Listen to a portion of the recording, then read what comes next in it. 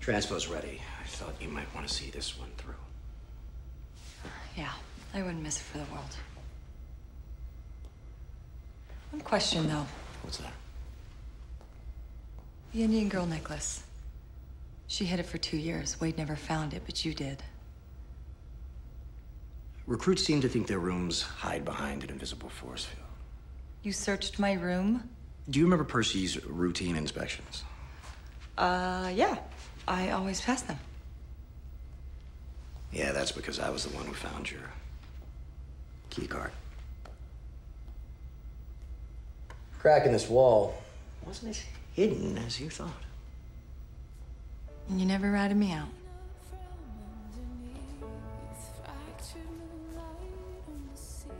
I was at your back.